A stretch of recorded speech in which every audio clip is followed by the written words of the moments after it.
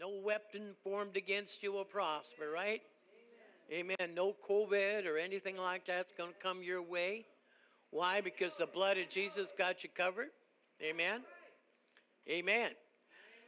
Um, all right, so we've been having fun worshiping and singing a couple of songs before service, and I thought we'd do that so we can probably start right on time. But one of the things, what did we have? We learned about singing that's basic, basic truths about singing that so others, you can pass it on to others so they can sing and actually receive benefits. What did we learn? Prepares you for the word. How so? Because his presence does what? Softens you and gets you ready. Because God inhabits the praises of his people. What else does it do? What's the practical application of singing? What does it do? You breathe in and exhale God when your mind is focused on Him.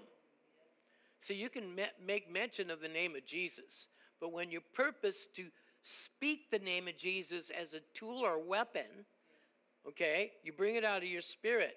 You see what I'm saying? You focus on it. Well, when you focus to really worship Him, are you just singing la la la la la la la, or actually are we focusing to tell Him, God, you're a mighty God, you know, God, you're awesome.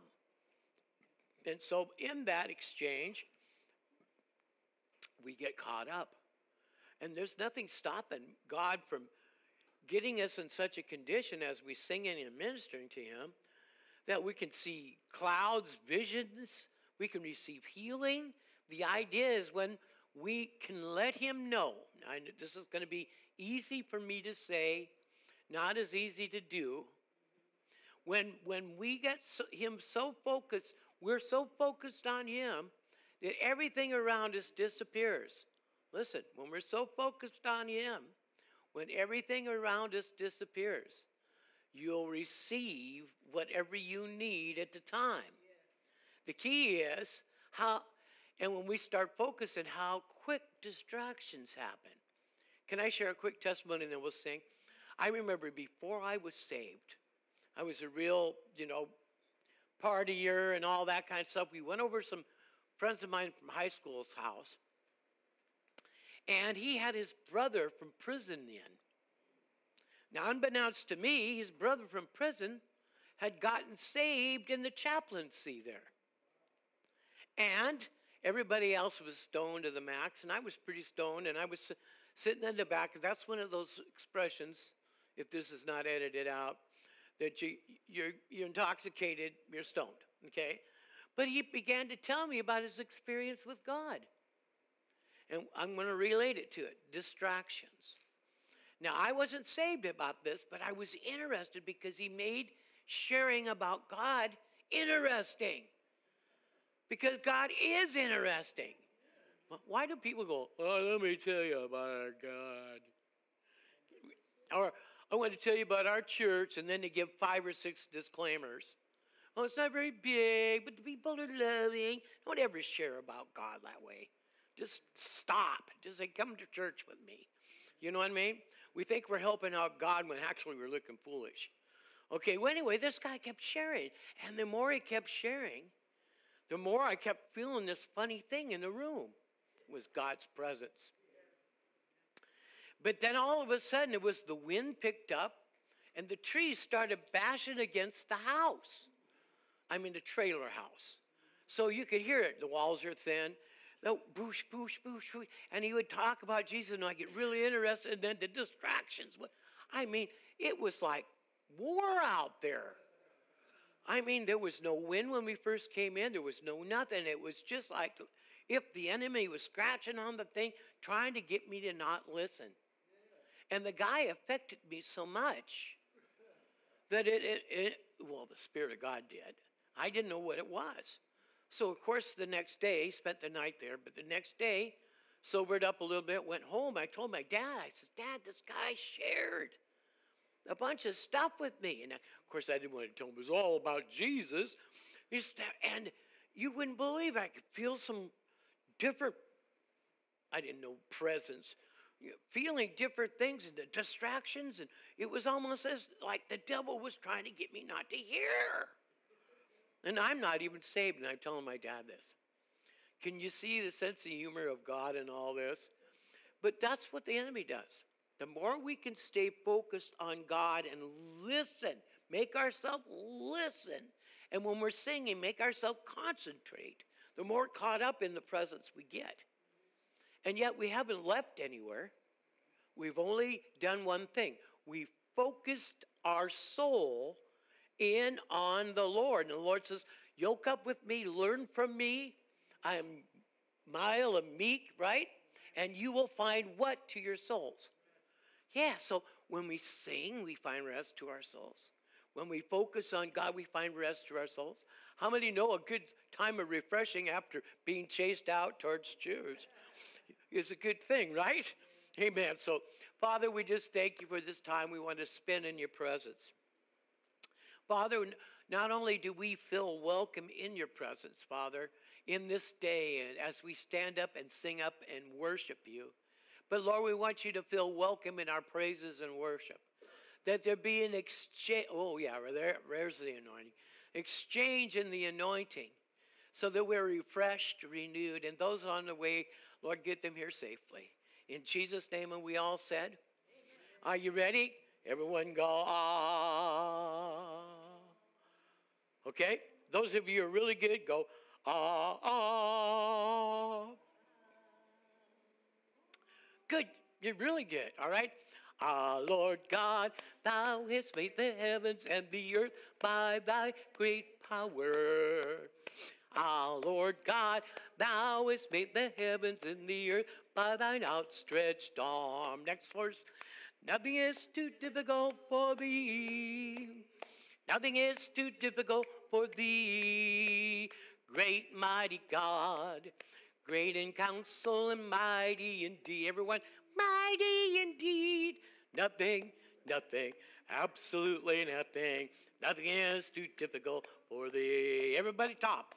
Ah, Lord God, which made the heavens and the earth by thy great power.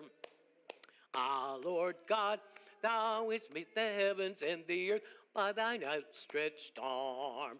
And nothing is too difficult for thee. Well, nothing is too difficult for thee. Why, you're a great, mighty God. Great in counsel and mighty indeed, mighty indeed. Nothing, nothing, absolutely nothing. Nothing is too difficult Nothing, nothing, nothing, nothing, absolutely nothing. Nothing is too difficult for thee. One more time. And nothing, nothing, absolutely nothing. Nothing is too difficult for thee. Next one is Arise and sing, you children of Zion, for the Lord has set you free. Woo! Arise and sing, you children of Zion, for the Lord hath delivered thee. Let's do it again. Arise and sing, you children of Zion, for Lord has set you free. Be free. Arise and sing, you children of Zion, for the Lord hath delivered thee. Oh, open, open, open up your hearts, you children of Zion. Open up your hearts, you children of Zion. Open up your hearts, you children of Zion, for the Lord hath delivered thee. Arise and sing, arise and sing, you children of Zion, for the Lord has set you free. Arise and sing, you children, Zion, for the Lord hath delivered thee. Da da da. Open up your hearts, you children of Zion. Open up your hearts, you children of Zion. Open up your hearts, you children of Zion, for the Lord hath delivered thee. Open up your hearts. Open up your hearts, you children of Zion. Open up your hearts, you children of Zion. Open up your hearts, you children of Zion, for the Lord hath delivered thee. For the Lord has delivered me. Lord hath delivered me. For the Lord hath delivered me. me. You could just say me, me, me, me in the church, right? Amen. So he's the Savior of my soul. Who is my Jesus? My Jesus. You're the Savior. You're the Savior of my soul.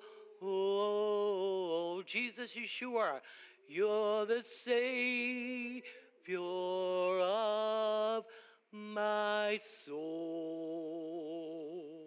What's his name? Jesus. His name is Jesus. Jesus. Jesus.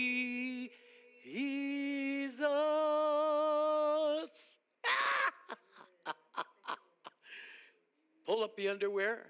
He's a Savior of my soul.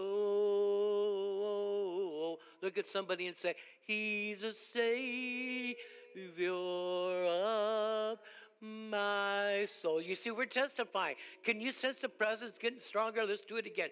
So He's a Savior of my soul.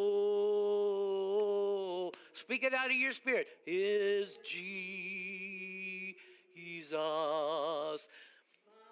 Jesus, and He's a Savior of my soul. Everybody on the rooftop, He's a Savior of my soul. And demons will flee at the name Jesus, sweet Jesus, and Jesus, my Jesus,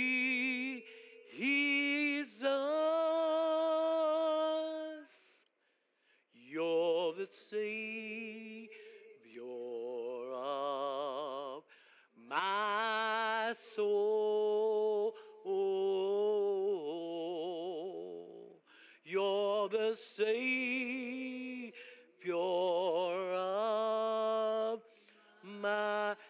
soul. Just let it just flow out. Oh, hallelujah. Hallelujah. You're the Savior, the Savior. You're the Savior of my soul. Yes, you are. Yes, you are. He andale Savior, andale my Lord, andale my Savior, oh in one accord. Andale my Savior, lift up His name. Andale my Savior, you'll never be, never be the same. Woo! Glory to God. That's what I spoke in tongues. Came right out of there little new song or something. All right, let's get in the word together. Uh, now you don't you don't have to move as fast as I'm moving. You, you're just it's great, isn't it? In that presence, I love the presence of God. I mean, church without the presence of God, that'd be a bummer. Amen. And not only that, but not only having the presence of God and God in our midst, but in our heart, but loving His Word Falling in love with His Word is very, very important. What's God say? He said in Isaiah 66 He searches to and fro for those who have a contrite spirit and those that tremble at His Word. Isaiah 66, I think it's the first three verses, I'm not sure. But he says, Heaven's my my throne and the earth of my footstool. What house will you build me? And then he says, I'll show you to whom I am looking. I'm looking to the one who has a heart who needs God, broken heart, and one who trembles or respects God's word. And that's you. Say amen. All right, we've been doing, welcome those who are coming in to the garage. We sure appreciate those of you that are coming in. More and more are coming in all the time. Some people are peeking in from other states, and we sure appreciate that. This is our Bible study midweek on a Wednesday, and we've been doing a how to series. So, in this how to series, we've learned, you know, about renewing the mind. We learned about walking in the Spirit. We learned about our place in Christ. But tonight, we're going to learn about how to know God's voice. Not to hear, just hear God's voice, but to know God's voice. So take your Bible, I mean, not your Bible, but your notes and your Bible, and we're going to read right through that first paragraph. I promise not to sway. We got a lot to cover tonight, so that means I'm not going to unload private stories and have you lose place. Hopefully not.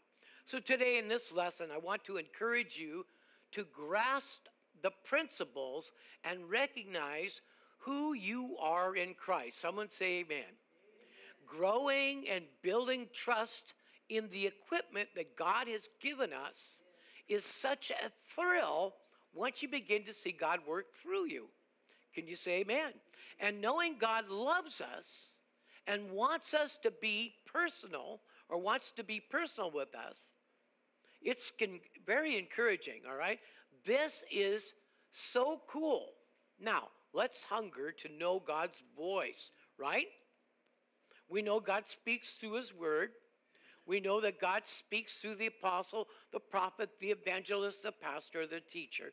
We know that God can speak through brothers and sisters. He can speak through preachers and ministers. Can you say amen? But God also speaks in a still small voice to the believer. And so we're going to find out how to know God's voice. And let me just throw this out before we finish this paragraph. Okay? Let's see what the word says about the subject matter and how to develop a listening ear. Hey, can you remember what, what did Jesus say a lot to the disciples? What did he say? Those with ears, let them hear. And I kept on saying, why is Jesus saying it? Because the enemy works in such a way that we can hear a sound, but we don't distinguish the notes or the meaning thereof. And that's why we found out that in Jesus' ministry in Matthew 13 that the, the religious people of the day rejected Jesus and thought that their eyes, idea of what the Messiah should look like and should do was not what, what Jesus was doing. And so Jesus knew they, they had rejected him.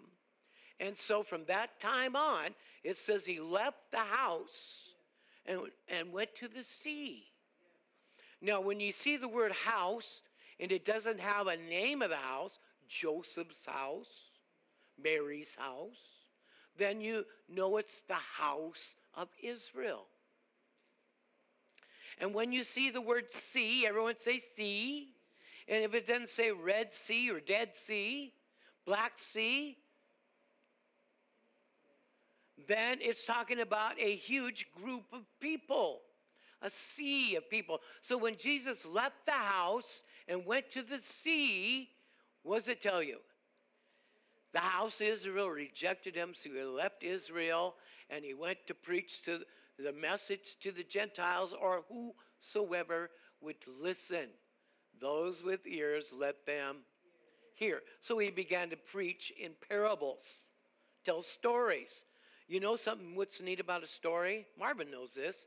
That if somebody's telling the story and you heard it before or you think you know it, if you're really not interested, you won't listen. But if you know that that story is going to give you answers to the mysteries of life, and the one speaking the story is Jesus, then it would have the ability to separate from the listeners to the ones who could care less. God even, Jesus even preached a parable about the four grounds wayside, stony, thorny, and good ground, didn't he? So those with ears, which we should what? Hear. So we have to be exercised in listening to what the Spirit is saying to the church. And we have to be exercised in the Word to understand that God's Word does, excuse me, God's voice does not contradict His Word. No prophecy is given by any private interpretation. It's supposed to line up with the Word and benefit those who listen. Can you say amen? So, but basically, there are a lot of people who have ears, but they don't know how to listen to the sensitivity of the Holy Spirit. You, know, you say, well, why, God, why is God so uh, like a dove? Because people who are noisy and boisterous and prideful will push the voice of God away, the dove, the Holy Spirit, away and not know it. So God resists the proud but gives grace to the humble. Another thing we need to know about God's voice is every perfect and every good gift comes from above. So God's voice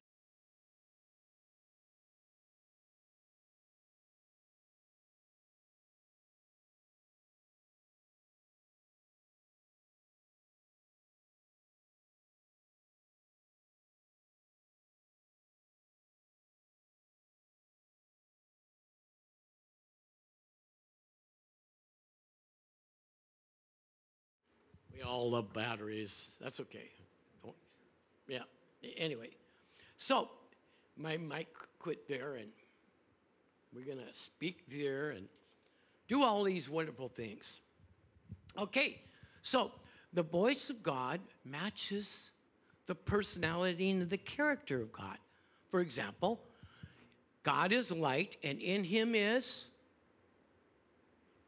no darkness at all. So when God's voice speaks, it won't cause you to doubt. It won't cause you to question unless you're sinning and He tells you to stop it. Stop sinning, then you'll question. Hello, don't lose me here. But God's voice matches His character and His nature.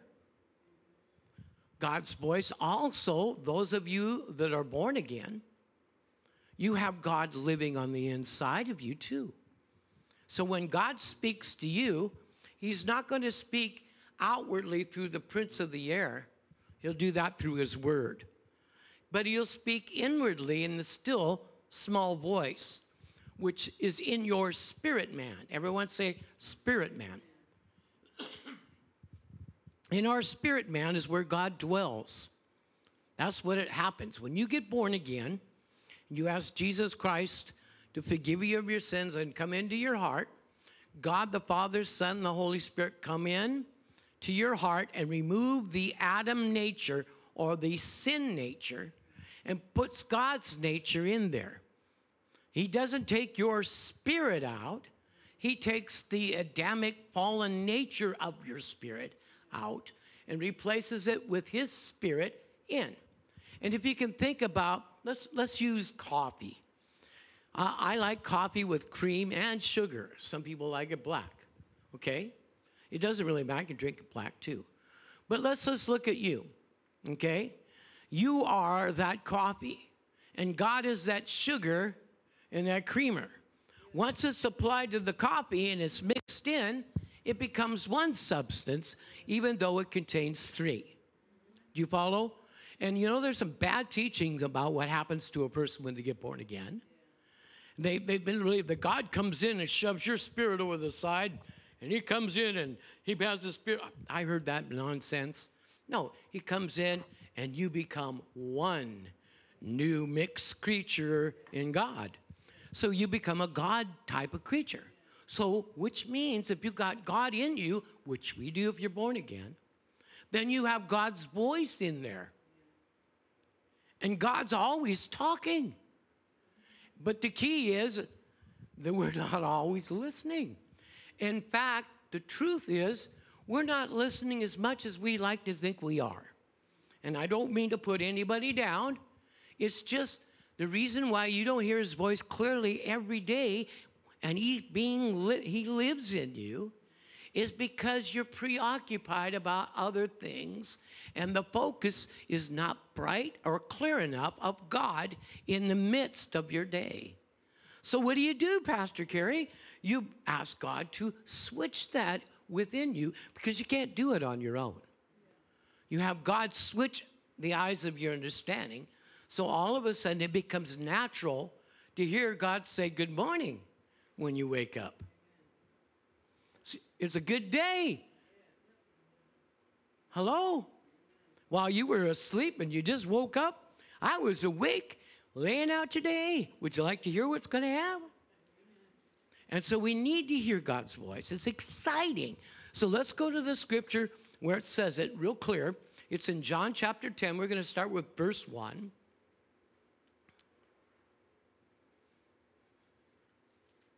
Now remember, God speaks in many different ways, but we're listening to his voice. So, John 10, verses 1 through 6, uh, New, New King James um, scripture. Here, let me take a swig of coffee here. I love this mug. All right. Most assuredly, I say to you, Jesus is talking. He who does not enter the sheepfold by the door, but climbs up some other way, the same is a thief and a robber.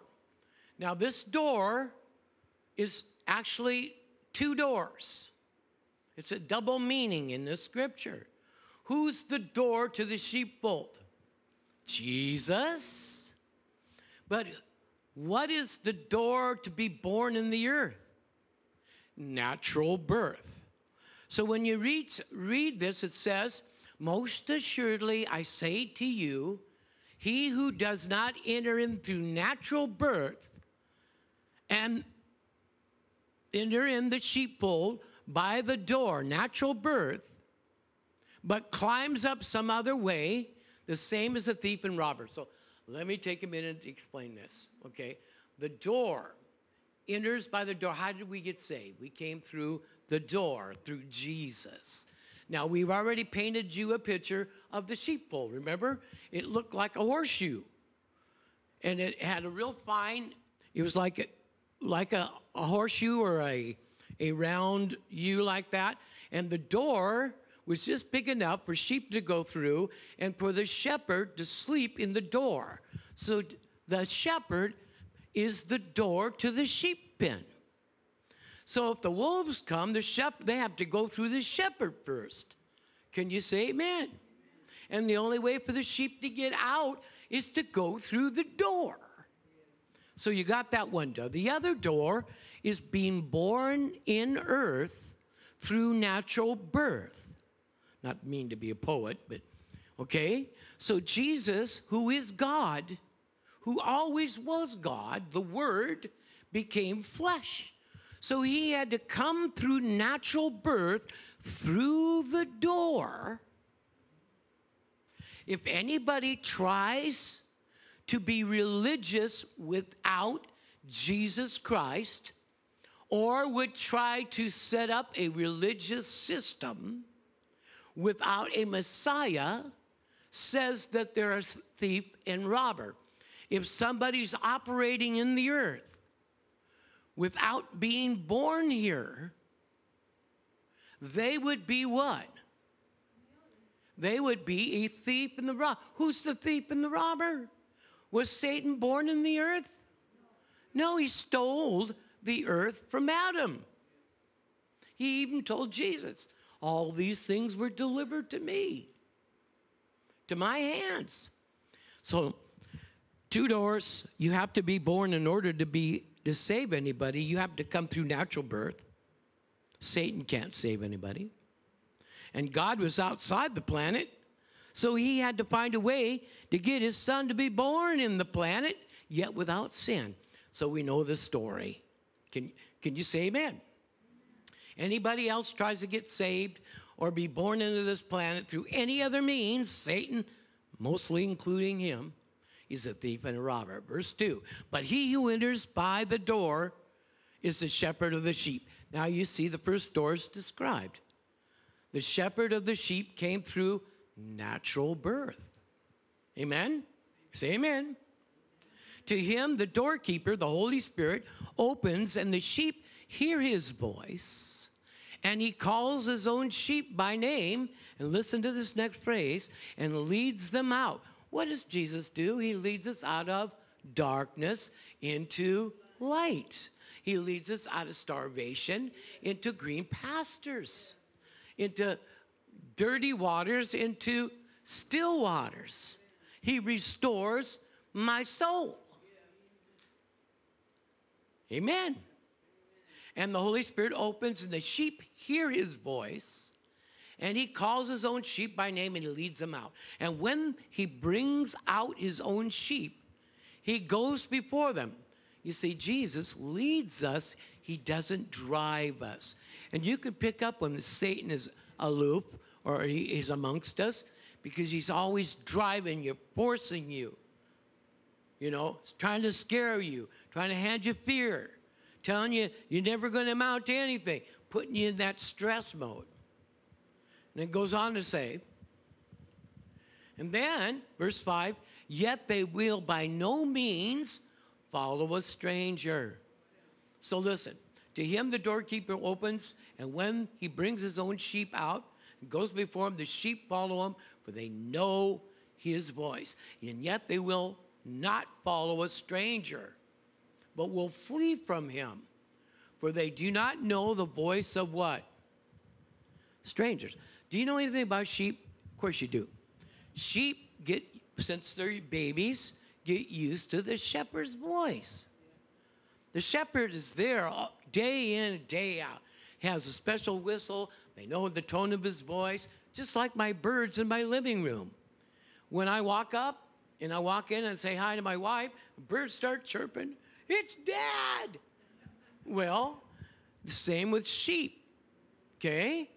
They get to hear, know the shepherd's voice. So, therefore, if somebody else who's another shepherd of another flock comes, they won't obey that because that's not the sound of the voice they're used to. Everyone say, used to God's voice. Okay, we need to get used to God's voice.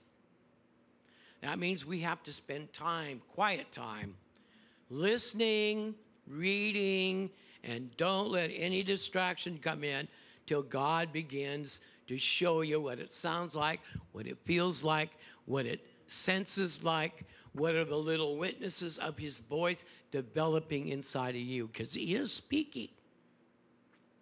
It's really not that big of a mystery.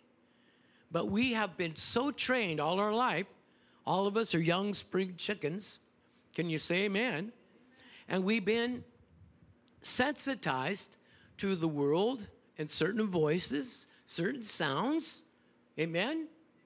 And so we need to resensitize by spending the time to get to know the shepherd and his voice. We hear all kinds of things speaking to us. And I'm not talking about voices, let's hope not. But we hear, you know, the world and, and situations and bills and all, all speaking to us. But one still small word from God can still any stress or any problem. So we need really to know God's voice. Can you say amen? All right. So it says, and they will flee from the stranger, for they do not know the voice of strangers. Verse 6 says, and Jesus used this illustration, but they did not understand the things which he spoke to them. Now we know later on they did, but it's just that way. Have you ever said to your child, Do you know what I'm telling you? I know, I know, I know, I know. And you know they don't. We have to be patient. Can you say amen? Well, let's look at a couple of points underneath that. In your notes under John 10, there, you have one through four. The first one, the door here is twofold. Can you tell me what they are? Natural birth and spiritual birth. That's why that which is born of the flesh is flesh, and that which is born of the spirit is spirit. Remember, Jesus speaking to Nicodemus. See, some people teach that born of this uh, flesh, of water, and the spirit as water baptism. And it's not water baptism. Because if you're born of the water and you're born of the spirit, you're born out of a sack of water and then to be reborn in the spirit. There you go. So, if you ever crawled out of any water, it was your mom's womb. You're not as an amoeba, amoeba, right? Yeah, you look like a one cell creature. All right, point two Jesus was the first to be born again. Did you know that? And where was Jesus born again at? You want to take a stab at it? In hell. He came alive in hell. He got born again in hell. He was separated from his father for three days and three nights in the belly of the earth. And then God says, Enough. His blood is pure. He's committed no trespasses. And mankind is forgiven. And the Spirit of God raised him from the dead. He was born again.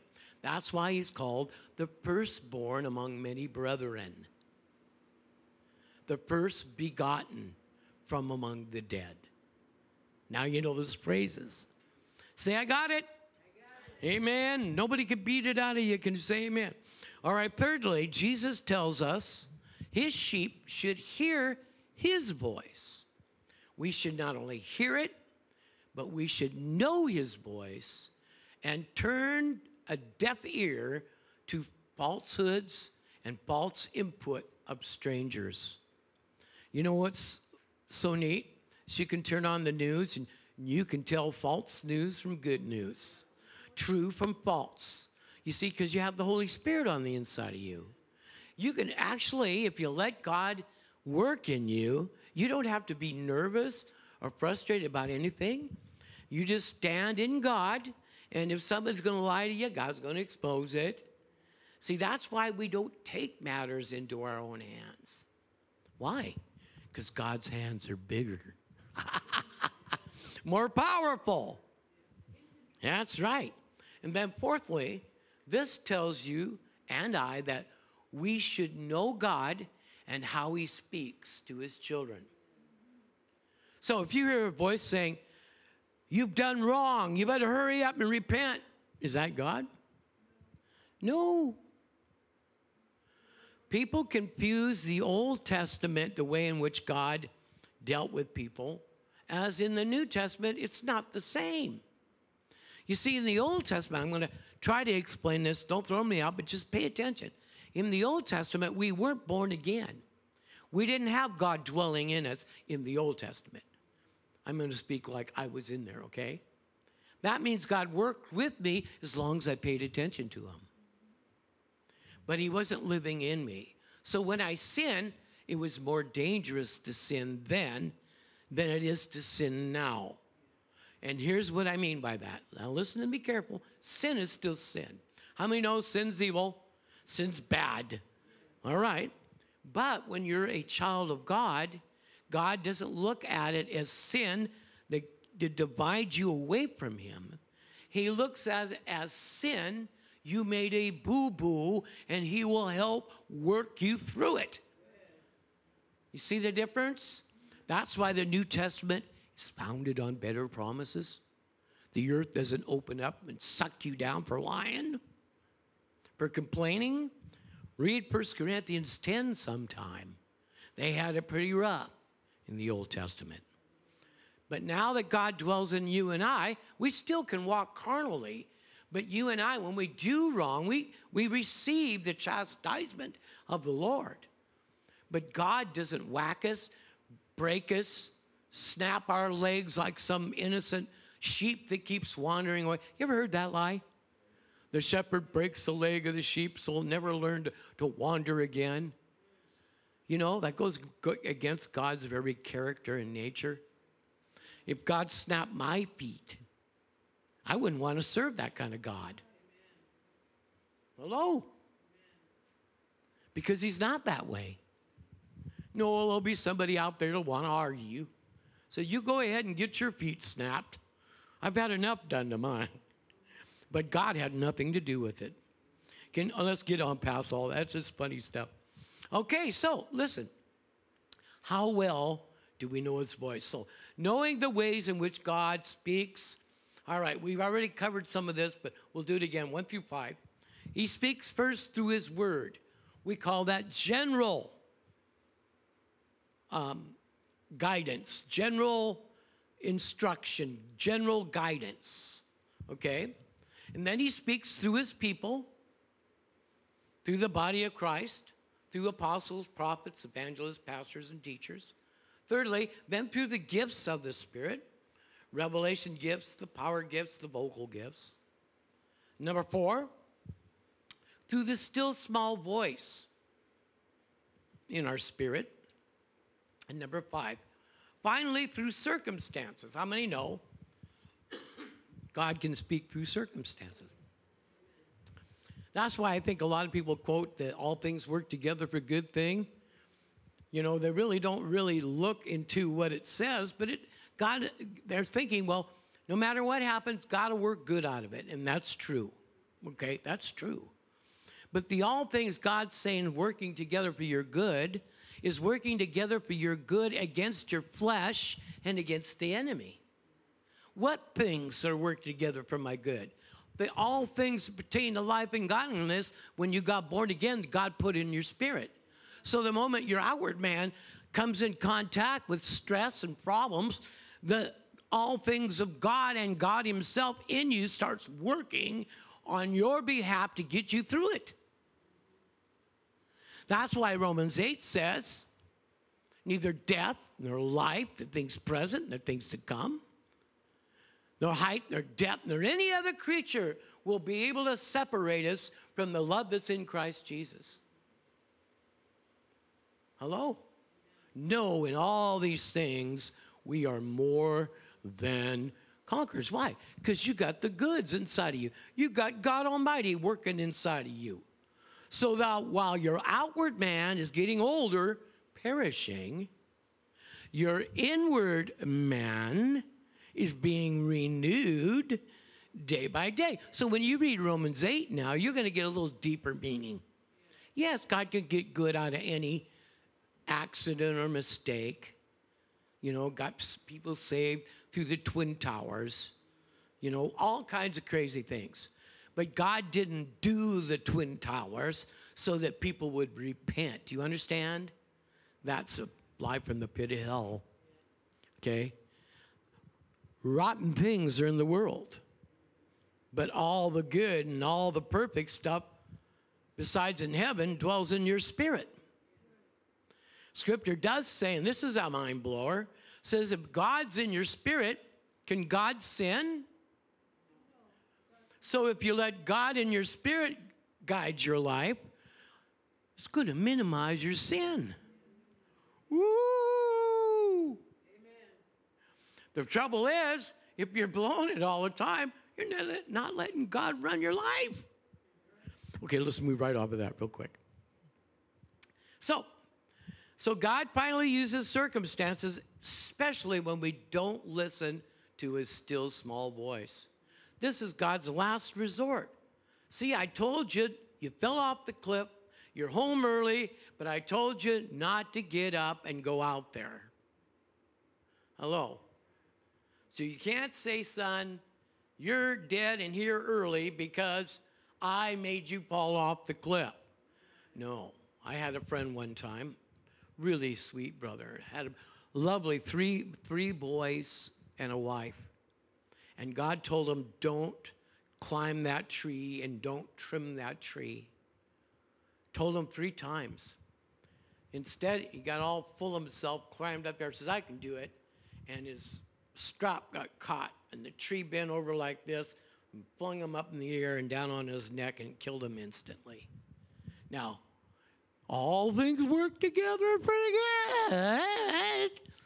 No, there wasn't anything good in that. But God worked and straightened all the mess out caused by somebody not listening. So there is stuff like that. Look at Ananias and Sapphira in the fifth book of Acts. So we do need to hear God's voice. We need to know God's will for our life because this planet is dangerous. It's full of a evil spirit, spirits of infirmity and all that. I don't want to sound negative. You and I are actually walking in a cesspool. It's beautiful cesspool, but a cesspool because it's full of the devil and full of these things. So we need the help of the Holy Spirit. We need to understand the word, and we need to be able to hear God's voice in us and let Him order our steps. Somebody say amen. Now, discerning who might be talking to us. That's my first point. We should not be ignorant about what the enemy or how the enemy works. Say amen, somebody. And what do you mean by that? Don't blame God for things he didn't do. We should have a clear understanding of who God is and what his character is like and the nature of his very being. And we have that in our born again spirit. We need to match that up with the way he communicates to us. If you hear a voice saying, I'm going to judge you in your life, repent. That's not even New Testament. Here's another one. I'm going to blow your minds. Judgment is going to come down upon America. Really? Who, which part? Which town? Silly person. Judgment comes down on anybody that doesn't accept Jesus. Doesn't matter what nation they're in. And you know what? To a born again believer, we are already judged and found innocent through Jesus' blood. So, guess what? Stand up and go, let judgment fall. Because I've been judged already and found innocent. And even if you're making mistakes in the New Testament, don't let the devil lie to you. God's not going to drop judgment down here and rattle your teeth. He's going to say, Let me help you up. As long as you're in that body, you're going to constantly make, make mistakes. So walk in the Spirit, and you shall not fulfill the lusts of the flesh, Paul said. I done preached myself happy now. Now listen, it's very, it's, you guys are set up. Wait till you hear Sunday's sermon. I got some stuff from God to blow our minds. Not because I am anything special. I just love to go after God and have God show me what the word says. You know, I want God to teach me too. Can you say amen? So you can have all of that. I mean, just go after it. How serious are you? Okay, remember, match everything up with what lines up with the Word of God, especially the way He communicates. John 10 5 again says, Yet they will by no means follow a stranger. Hello? What'd your parents tell? Stranger danger? Amen. But will flee from him, for they do not know the voice of what? Folks, how can, how can uh, you discern God's voice? How can you line it up with Scripture? So, God's voice, first of all, won't have anything evil in it, will it? It won't have any darkness. Here's another one that everybody, when God gives you a dream, you'll wake up with the interpretation, not be wondering what it means. You're in the New Testament, not the Old. The Old, they God gave an impression and they were to chase the impression so he could give them the meaning. In the New Testament, you have God dwelling on the inside of you. The meaning is in you. What's that mean? How does it apply to my life? Well, that's what we should be doing with the Word. What's the Word going to say to me today in the sermon? What is it going to reveal to me today? I'm expecting God to speak to me. Are you that way when it comes to hearing His voice?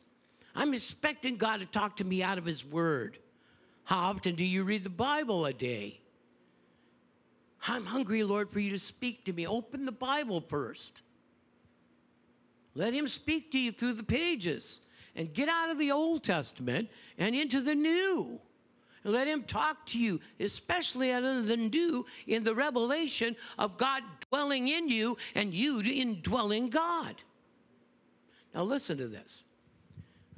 John 10 10 says this The thief does not come except to steal, to take away truth from you, to kill, to kill all livelihood, and literally destroy lives and to destroy. Jesus said, I have come that they, those that hear my voice, may have life and that they may have it more abundantly. See, you have to hear his voice to accept the Lord. Hello? Because remember when you first accepted Jesus, you actually, you might not have heard, go up to the altar. No, you, you just felt an impression of God tugging on your heart. That was his voice. See, God can use tugging on your heart as an expression of communication. Hello? But the thief comes to steal, kill, and destroy. I've come that they might have life and have it more abundantly. How did God say?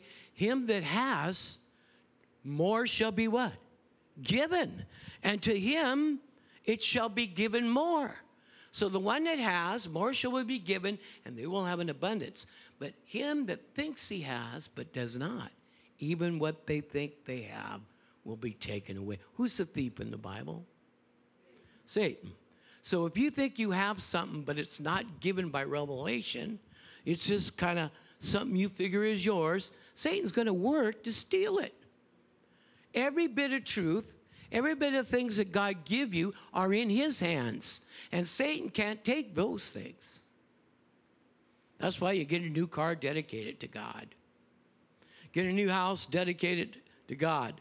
And like that guy down the street, wherever he is, you got a new wife, come to church. I have married me a wife and I cannot come to church. Do you know Jesus said that? Uh huh. Well, I'm meddling, so let's get on past this. Okay. Look what James says. James chapter 1, 16 through 18, relating to hearing God's voice. It says, Do not be deceived, my brethren. Every good gift, what kind of gift? Every perfect gift, what kind of gift? Perfect. Is from above and comes down from the Father of lights, in whom there is no changeable variableness or shadow of turning. In other words, God doesn't give something to you, says, No, I changed my mind, take it away from you. So once He's given you a gift, whether you use it or not, it's up to you.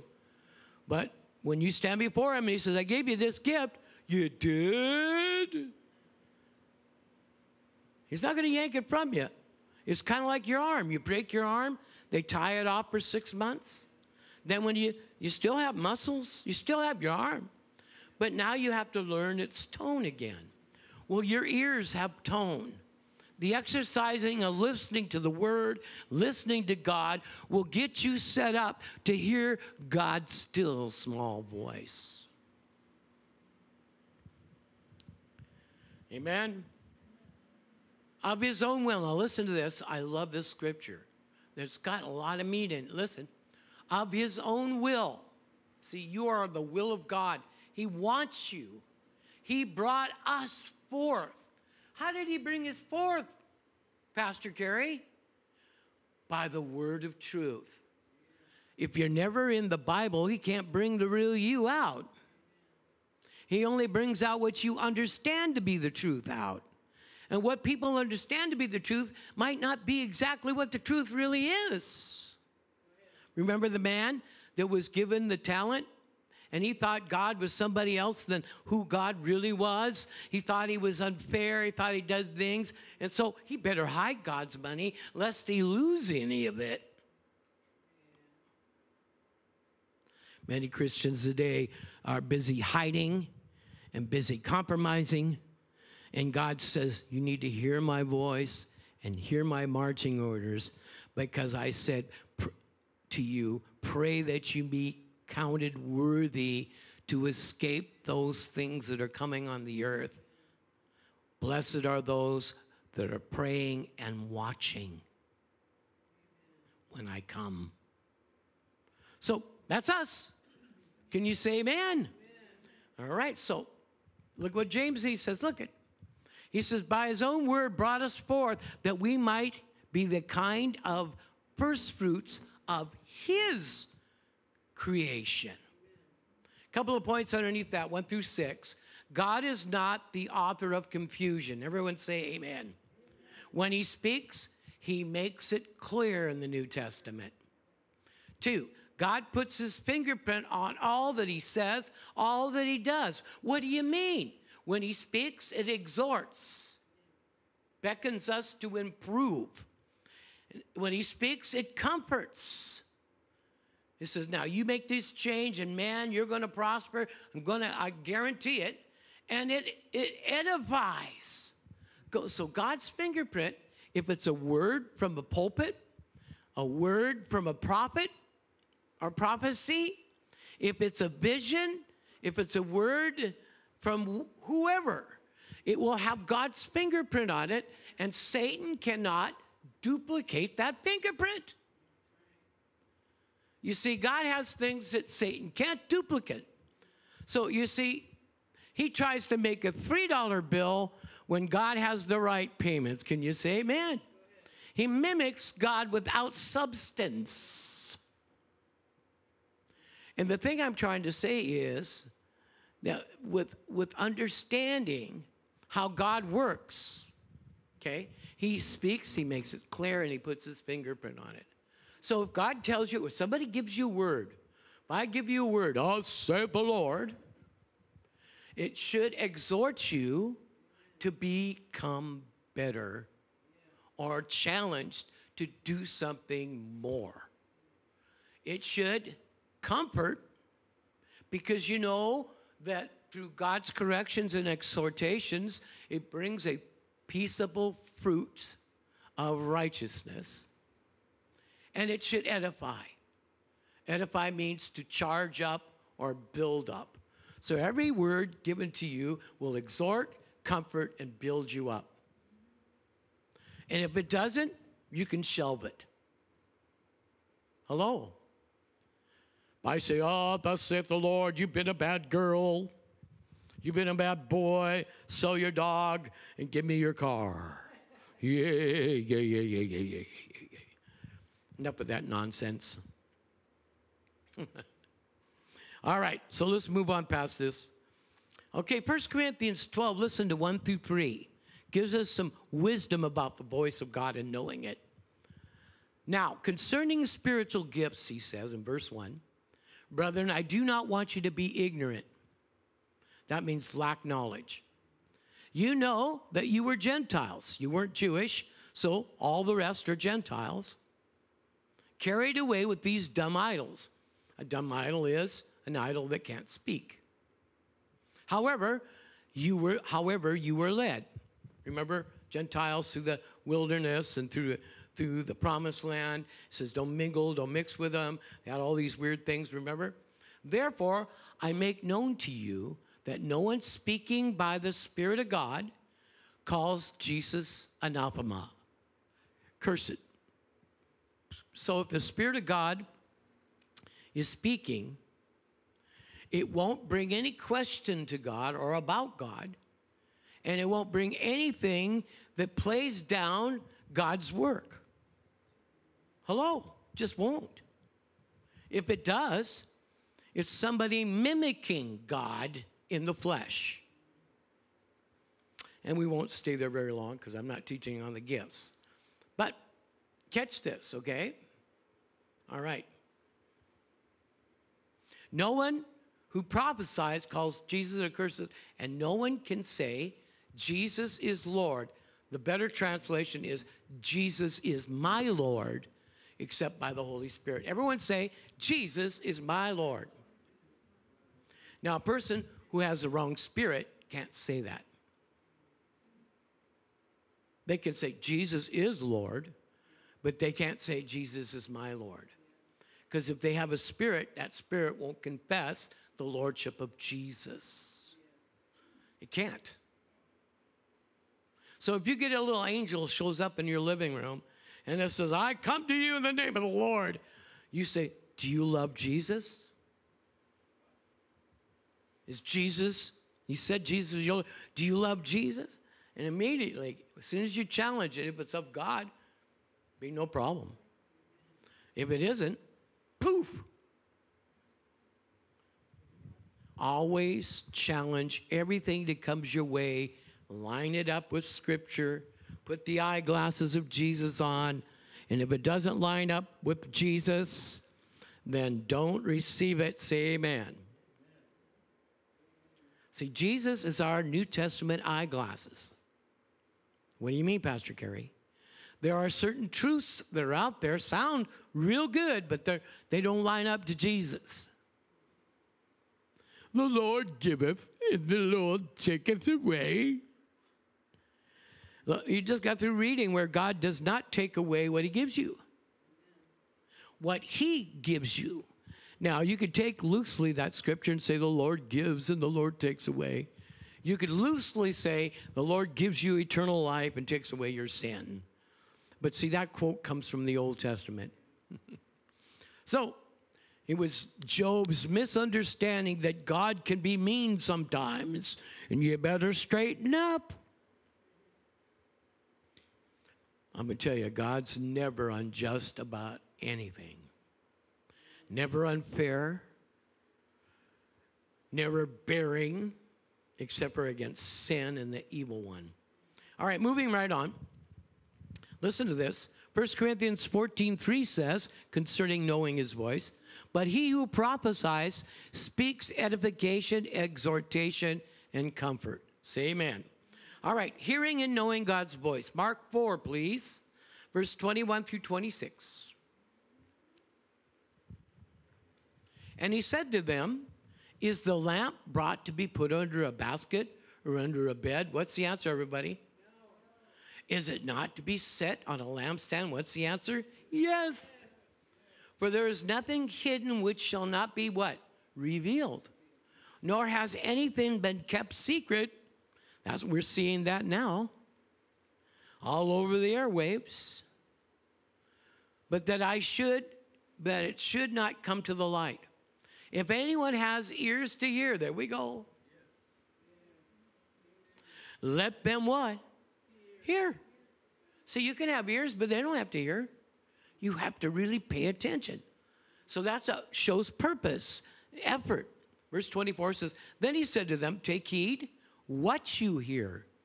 With the same measure that you use or listen, it will be measured to you. And to you who hear, more will be given. For whoever has, to him more will be given. But whoever does not have, even what he has, will be taken away from him. What's he saying there? So if you got a pair of ears and you're not using them for God, be careful the thief doesn't take away your hearing. And I'm not referring to necessarily having you know, hearing aids. I'm just saying your sensitivity to recognize if God is warning you, trying to instruct you, trying to get your attention, because you're dull of hearing. And a person gets dull of hearing when they walk carnally in the flesh for any length of time. If you find yourself dipping down in the flesh, get out quickly. You fall into a mud puddle, stand up.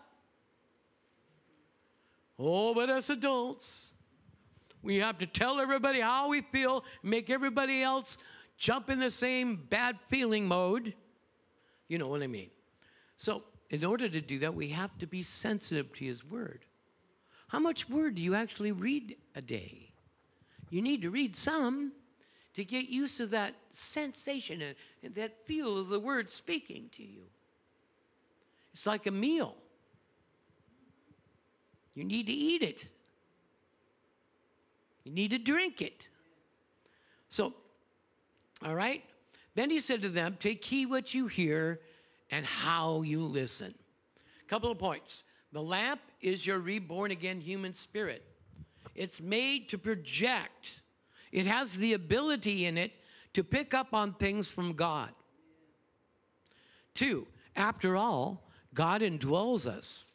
Let him bear witness to what truth you hear. Literally, somebody's talking to you and the truth bearing spirit's in you. If they say something you, need to hear, you'll have a witness. Doesn't matter if they're talking football or spaceships. If there's something there, Holy Spirit needs you to hear a truth. He'll bear witness with it. That's why you bring your witness bearer to church and leave your flesh and your brains in the car. Please. Especially we have cameras and people find you sleeping. Bummer, bummer, bummer.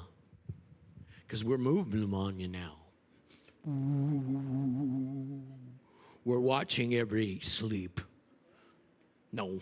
Anyway, so it's important that we, we listen, isn't it? Amen. So I got a chance to meddle a little bit there. So let's go on.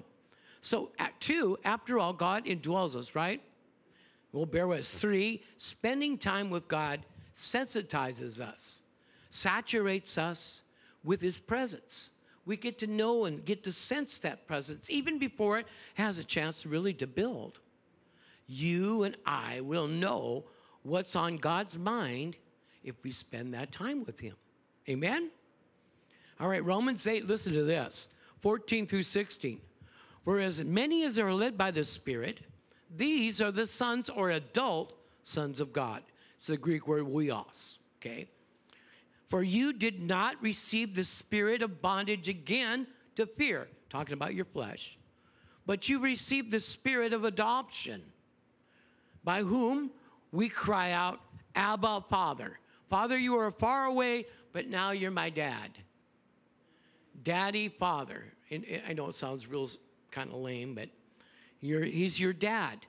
He's your loving father and your authoritative father. He tells you how far you can go and loves you right on back in. Remember, the prodigal son should be called the loving father instead of that. Okay. And the Spirit Himself bears witness with our spirit that we are the children of God. Say, I'm a child of God. I'm a child of light, not of darkness. The wrath of God abides on the children of disobedience. Say it. The wrath of God abides on the children of disobedience, but I'm a child of the King. Everything I quoted was scripture. Oh, we're not too familiar with the, you know, children of disobedience. Read Ephesians 2. All right. A couple of points and we'll be done. Point one God's is truth, right? Who dwells in you? The truth bearing spirit. Who's leading us outside of us? The truth bearing spirit. Who's guiding our steps? The Lord Jesus Christ. We're those people that delight ourselves in God. And then He'll bring it to pass. Wow, that's who you are. Now, there is clarity and simplicity in what God always tells his kids. Everyone say clear, clear. and simple. Say it again clear and simple. Why do you suppose God speaks to us clearly and simply? Because so we can get it, my wife says, and that's the truth. We don't need things complicated, we just need them clear and simple. If you read Proverbs chapter 1, it says, Wisdom cries out, it says, How long are you simple ones going to ignore what I'm saying to you? And if you continue to do it, when calamity comes, I'm going to laugh at you. But those that listen to me and pay attention to what I say will dwell safely and be quiet from any fear of evil. Proverbs 133. All right. So John 2, 20 and 21 tells us that we have the anointing inside of us and we know all things. So, like, like Joe brought up a couple of weeks ago, that when the word's going forth and you sense the, the Spirit of God moving in you, those that's the Spirit of God pulling from what is spoken or read into you for you to pay attention to it and dwell on it so he can teach you about it. Say amen. Because we don't know everything, do we? So, verse 24 through 27 and, and finishing. Therefore, let that abide in you, which also you've heard from the beginning. And if you have heard from the beginning that which abides in you, you will also abide in the Son and in the Father. He's talking about the gospel. And this is the promise that He's promised. He promised us eternal life. These things I have written to you concerning those who try to deceive you. But the anointing which you have received from him abides in you. You don't need all these others to teach you. But the same anointing inside of you will teach you all things concerning the truth. And that which is not a lie, in other words, we'll point out a lie, point out what's the truth. Just as I have taught you, you will abide in him. So, funny thing is, you got the Holy Spirit outside of you guiding your steps, revealing truth. You got the Holy Spirit on the inside of you, revealing God, helping you guide your steps, right? What does the devil have? He's hoping he has enough of your attention. He still can confuse us, he can distract us, he can talk us out of coming to church for whatever good reason. Oh, you got to help something. You got to go over here and help somebody here. And so you miss the Word of God, which is the only thing that God uses to change us into the image of His Son. Well, if you got something out of that tonight, let's praise the Lord, huh?